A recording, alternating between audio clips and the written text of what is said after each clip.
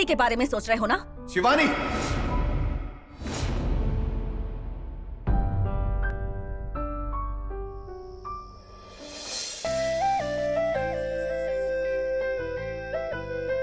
मैंने आपकी कसम लेकर गलती की है, माँ। माँ को कुछ भी नहीं होना चाहिए। माँ, आप मुझसे कितना प्यार करती हो, और मैं हूँ कि मुझे इस प्यार की कदर ही नहीं है। आप जो सोच रही है वो सही है। मेरे और शिवानी की जीवन की शुरुआत नहीं हुई है। मैंने तुम्हें भरोसा दिलाने के लिए तुम्हारी कसम ले ली। लेकिन अब मुझे बहुत डर लग रहा है कि तुम्हें कुछ हो ना जाए। कोई बेटा अपनी माँ की झूठी कसम नहीं खाता। लेकिन मैंने खा ली। मुझे माफ़ कर दो माँ। मुझे माफ़ कर दो।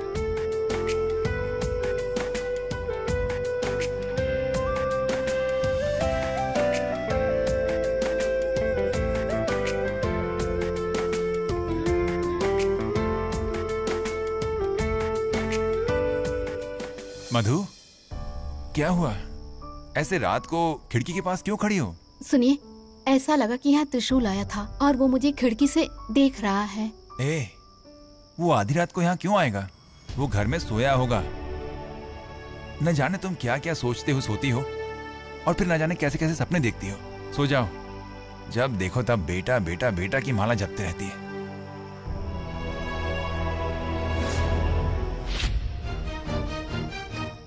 तुम्हारे पिताजी ने मुझसे कहा कि तुम यहाँ नहीं हो मेरा भ्रम है। देखो मेरा मन नहीं मान रहा था। क्या हुआ? कोई बात है क्या बेटा? इतनी रात को तुम यहाँ? कुछ भी नहीं माँ आपको देखने का मन कर रहा था। तुम इतने उदास क्यों हो?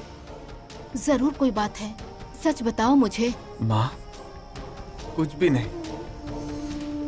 आप मुझसे कितना प्यार करती हो माँ। मुझे आपकी कसम नहीं खानी चाहिए थी। मैंने गलती कर दी। मुझे माफ़ कर दीजिए। त्रिशूल क्या हुआ है बेटा? माँ मैंने कहा ना मुझे आपकी याद आ रही थी इसलिए देखने आ गया। ठीक है आप सो जाइए मैं चलता त्रिशूल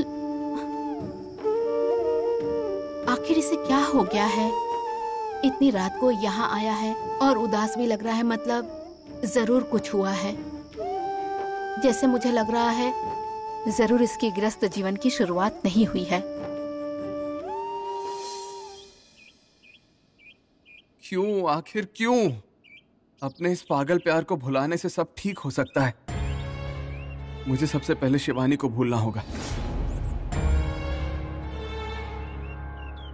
आदिशेष अकेले ही खड़ा है। मतलब ज़रूर ये शिवानी ने दिए हुए धोखे के बारे में सोच रहा होगा। यही सही मौका है। आदिशेष से बात करके उसके दिल में जगह बनानी होगी।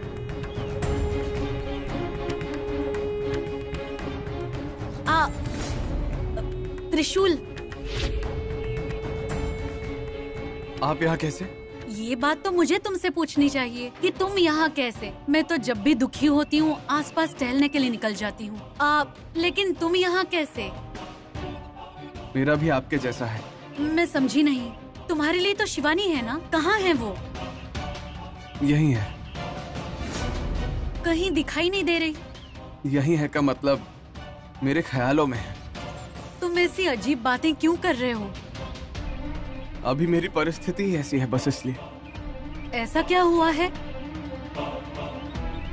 जाने दीजिए।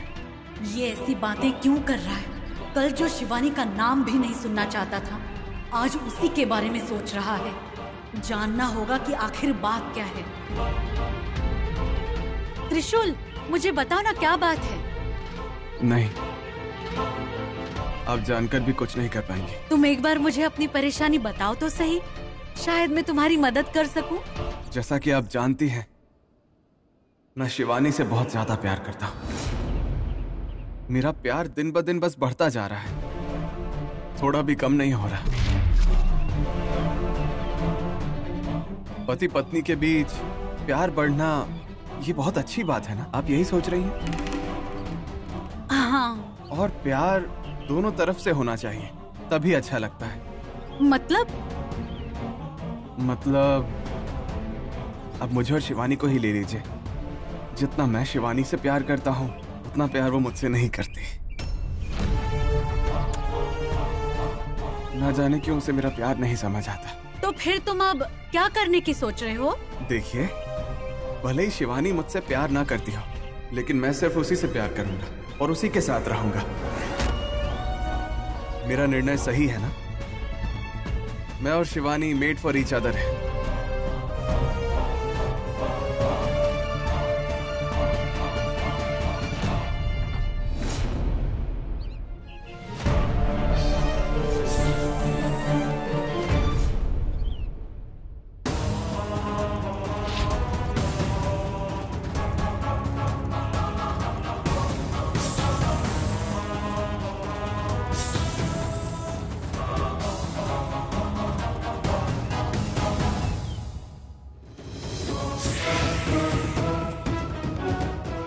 नहीं। नहीं! मैं उन दोनों को एक नहीं होने दूँगी। आदिशेष सिर्फ़ मेरा है।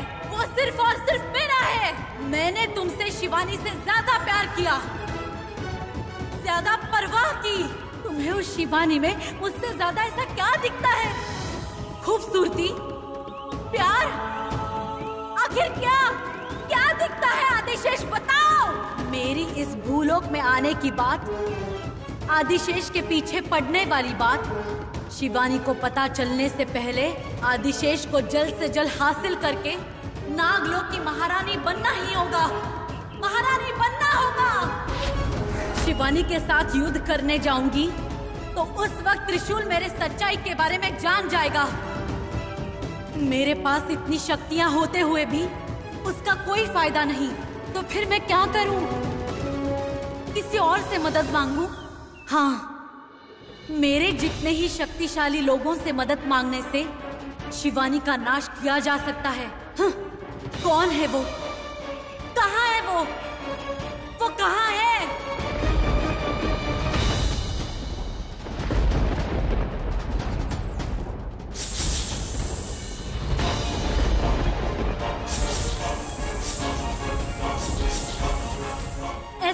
है जिसके बारे में सुनते ही ये सारे सांप यहाँ से भाग रहे हैं।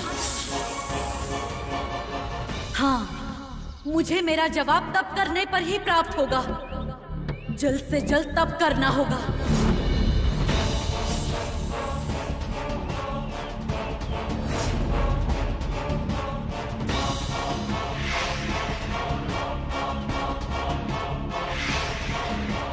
ये कोई भी शिवानी का सामना नहीं कर सकते। किसी और को ढूंढना होगा।